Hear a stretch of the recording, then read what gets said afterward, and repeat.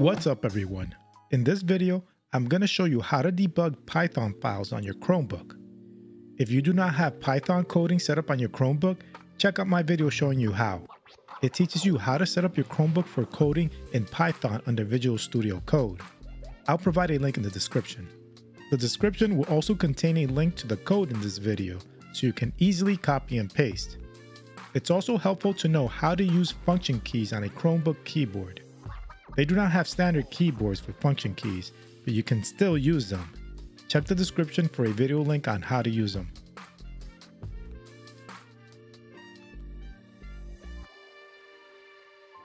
So let's begin. Open up Visual Studio Code and create a new Python file. Write down all the code that's displayed on the screen. Again, you can get this code from a link I'll provide in the description. Once you have all the code entered, it's time to set up a breakpoint. A breakpoint is a marker that you set that will halt code execution when you run your code with debugging. This will allow you to walk through code line by line to see if it's behaving properly and to also view the values of variables at specific points in time. Let's set a breakpoint on the line that says print start debugging, which is line 2. To do that, click on anywhere on the line, then hit F9 on your keyboard. A bright red circle will appear next to the line number, which will indicate where the breakpoint was set. Hit F9 again to remove the breakpoint.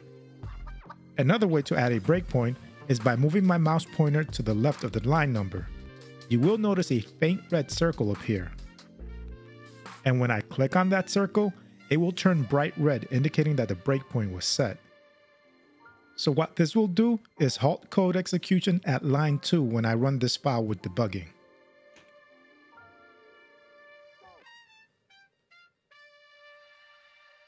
To begin the debugging process, you can either hit F5 on your keyboard or you can click on Run and then start debugging.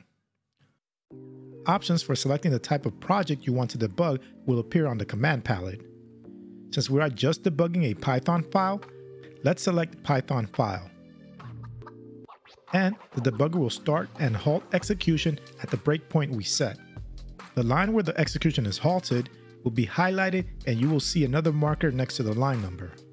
You will also see some new buttons that appear at the top. These buttons will help you control the flow of the debugger. The first button will tell the debugger to continue code execution until another breakpoint is reached or errors occur. If the debugger doesn't encounter any of those, it will run the entire code. So if I put another breakpoint here and I hit the continue button, the code will execute all lines and stop at the breakpoint I set at line 9. So I'll hit the button.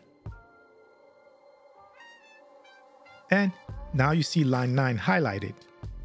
If I hit the button again, it will finish executing the Python file. And you can see its results at the bottom of the page.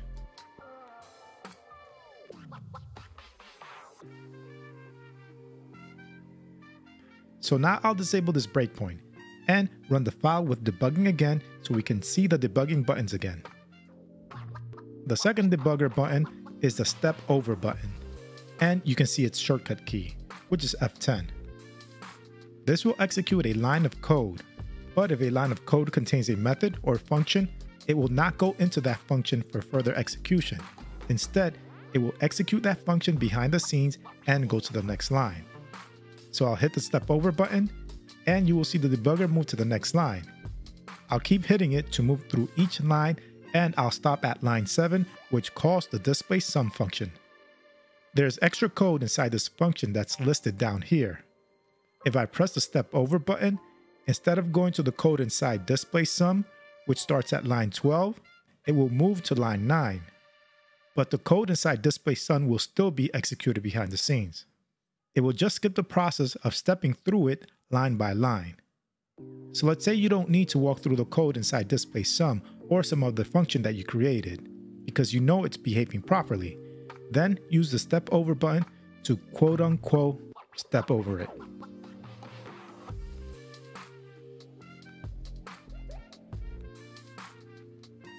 The next button is the step into button.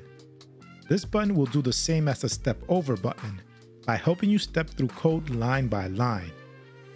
But when you reach a function or method, let's use display sum for an example, instead of going to line 9, it will instead go inside the display sum function to continue stepping through its code. And now I can continue pressing the step into button until it goes back to line 9. So you step into if you suspect that there are issues with a function and want to walk through its code.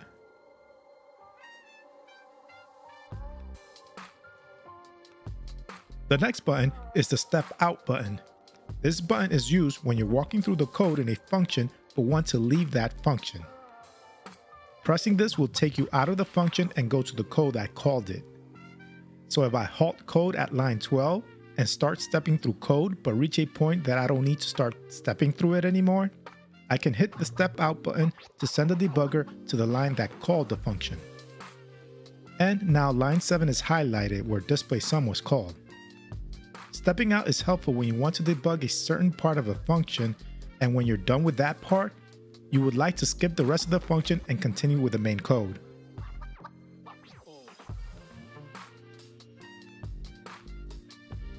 The last two buttons are restart and stop. Restart will just restart the debugger from the beginning of your project, and stop will do just that. Stop the debugger so you can continue coding.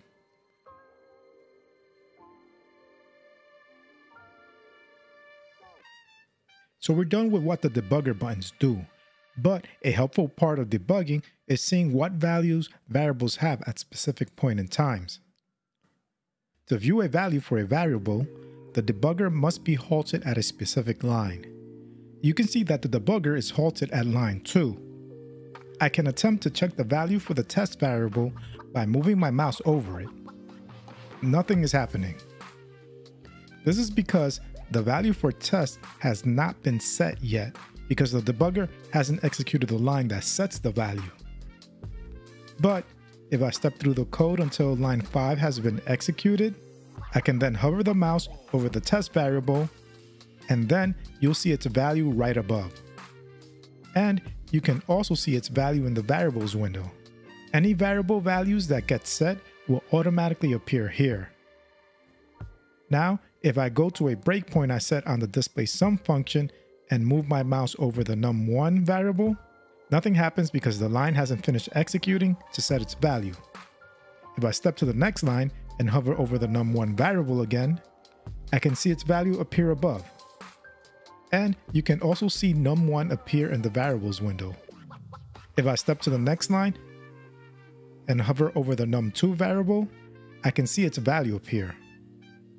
And if I step through and execute line 14, I can hover over the sum variable to see its value, which is the sum of num1 and num2, which equals 6. You can also see that the variables window has the values for the other variables.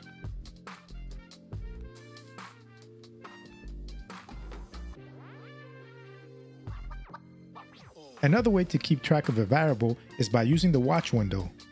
I'll restart debugging. So if you move your mouse over the watch window, a plus sign will appear. If you click on it, you'll have to enter the variable name you want to keep track of.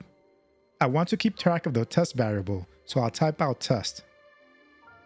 I get an error for its value. That's because the debugger hasn't reached a line that set a value for test yet. Let me also keep track of the variables inside the display sum function. I'll add num1, also num2, and also the sum variable.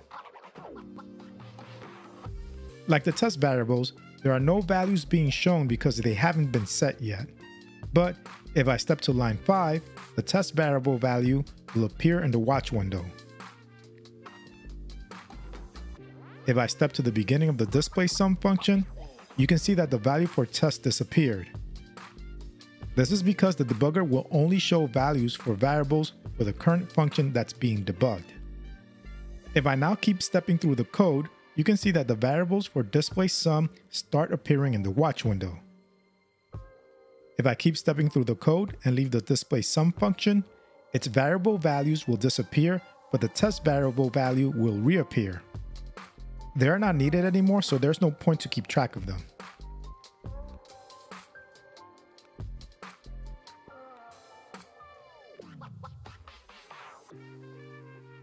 You may be thinking, why not just use the variables window instead of the watch window because the variables window automatically keeps track of my variables for me? Well, let's say you only want to keep track of one or two variables that have to do with a specific bug you want to squash. It will be real difficult to do that when the variables window will keep track of too many variables. Here I added another 40 variables to the code, and when you debug it, you wouldn't want to deal with so many variables that you have to scroll through just to get to the specific variable you want. Anyway, that's debugging in Python on your Chromebook. Let me know if you found this video helpful. If you did, please give it a like. And if you want to see more content like this, hit the subscribe button and its bell icon so you can get notified of future videos. Thanks for watching, and I'll speak to you next time.